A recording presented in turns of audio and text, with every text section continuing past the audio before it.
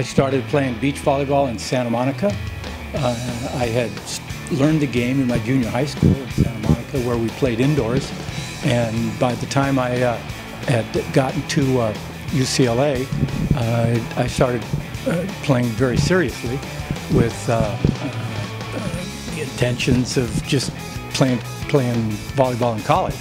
Got very serious when I started training and I loved growing up playing on the beach in Santa Monica. Well, uh, I think who started me the most were, uh, were my coaches, uh, at, at, my PE teachers in, in, in, junior high school, who were all uh, Sorrento Beach, uh, Southern California beach players. Uh, Dave Heiser, Dave, Don Steer, and a number of those players, and um, it was exciting to play, and I was, you know, I fairly good at it at the beginning. And I thought, boy, I, I really enjoy this. That's, that's how got me started. When I first started, when I first saw the beach tournaments and I saw guys like Selznick and some of those guys playing, I said, man, I, I want to do that. I happen to remember that my first tournament that I won was Muscle Beach in Santa Monica. It was a single A tournament, and I played with Jeff Rohr against uh, a couple of the local uh, uh, top players at Muscle Beach at the time uh, Bob Mathis and I think Art Diamond was, was the player. And then the following week, so we won that tournament. Jeff Rohr and I won that tournament. And then the following week uh, was the Sorrento Beach Double A tournament. So I went from single A to double A, and then I played with Greg Miller, who I became teammates with at UCLA and uh, on the college team. And uh, we won the double A tournament. So I went from single A uh, one week uh, to double A and then to open to triple A in two weeks. Well, my toughest, toughest opponent playing on the beach were in 1968 was Ron Von Hagen and Ronnie Lang. Uh, I played with uh, uh, my friend Henry Bergman, God rest his soul, uh, and uh, they had uh, the previous year in '67, they hadn't lost a match, and uh, they were going. They went through just about everybody because they were just so steady. And I had grown up trying to play against Von Hagen and Lang at Sorrento Beach, and you know they, you know, beat me over and over and over and over and over, and could not beat them. And finally, I got just a little bit better and a little bit better, and finally beat them up in uh, the Semana Nautica Santa Barbara tournament, the first no, I, no, we lost that tournament. That's when Henry cramped. But uh, we beat him the next week, and then that was the '68 season where, where I played seven tournaments, and we, uh, Henry and I played Von Hagen and Lang in the finals in all seven tournaments, and they had won three, and we had won three, and then the Manhattan Open was the seventh and final decider, and that's when we had that, that brutally long match that went into the night, Manhattan Beach Open. Was, so Ronnie and Ronnie were, were definitely big, biggest opponents. Well, on the beach, it was that tournament. It was the Manhattan Beach Open in 1968.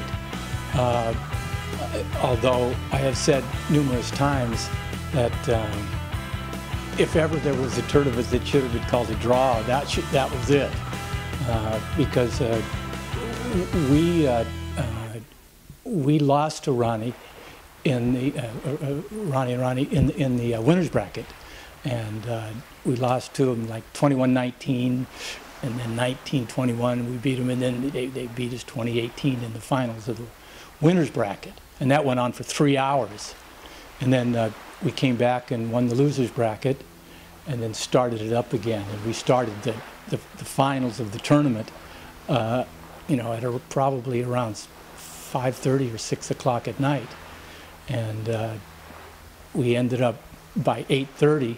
We had only played two, ga- two games, and we had to play one more game to finish the tournament. And uh, uh, before we started the game, Ronnie, you know, said, "Okay, if we start, we finish." That was my. I said, "Look, if we start, we finish." And they said, "Okay." And by the time it was about five all, six all, or something like that, it just was so dark that Lang couldn't see the ball, and I sent up a couple of high, a couple of high boys, which I still have guilt about. Uh, uh, and uh, Uh, but that was that was the biggest win, even though I, I think, in, in all due respect, I really do think that should have been a draw.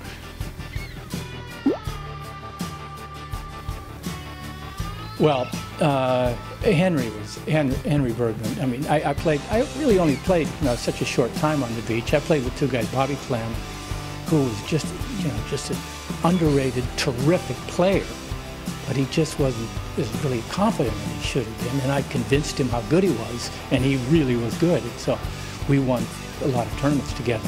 But Henry, Henry, just because he was just such a unique individual and so passive and so quiet and so timid. And and uh, uh, and and then he he hit some of his hits some of his spikes were just so spectacular that it was just great fun playing with him. And he was so machine like he never missed a pass. All the sets were right on Henry was a beloved beloved partner.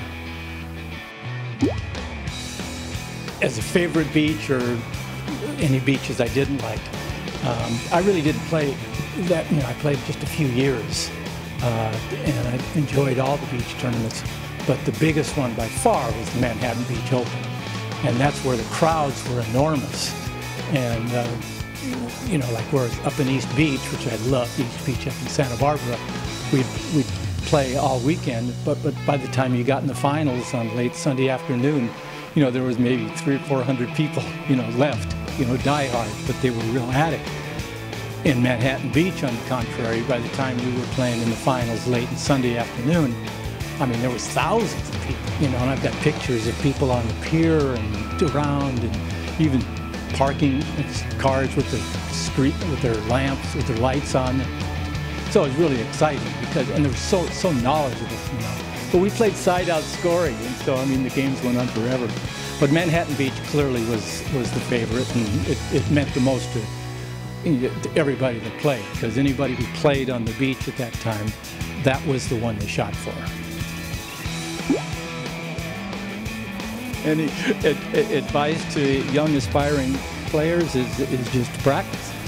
Just, I mean, in my case, uh, uh, you know, I, I was very fortunate. I had a wonderful guy as my coach, Al, Al Scates at UCLA, and uh, after I graduated from UCLA, we went on and he had me play on some of that uh, with, with, his open team, which really got me into the game and just made me totally committed that I wanted to be an Olympic athlete. But um, uh, if, if I have uh, you know one set of advice, it's to train hard and practice hard. And uh, uh, I, re I remember when I coached my daughter uh, one of the ladies came up who was with the high school daughter, and she said, "How do my daughter wants to, you know, play in college? How do you, you know, how do I get them to notice her?" And I said, "Just have her practice and get good. They'll notice you." So, I mean, it's just the game has grown so much now. So I mean, there's so many opportunities. So.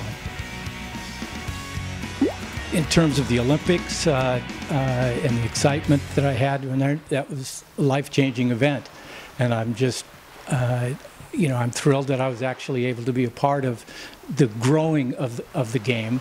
Uh, when I played in the 68 games, uh, we played our first match against Russia, the Soviet Union at that time, and they hadn't they hadn't won a, they hadn't lost an international match in two years, and we had our starting lineup had four out of the six guys were from Southern California, you know, just you know, beach guys, and we actually, you know, we beat them. We beat the Russians uh, on that day. Unfortunately, we we all got injured. I got injured, and three other the other guys got injured, and we lost. But I think that that was one small step for the for the USA volleyball program to think that we could compete. And then years later, the spectacularly successful group under with Karch Kiraly and those guys. And I mean, what they did uh, just fantastic. And then when I was watching the uh, the Olympic Games, the most recent games, to see how good our USA teams have gotten, it's just it's just fantastic. But my greatest memories with the game are are uh, from the Olympics and the, and the competition and, and the teammates that I had. And I had a great time at college too.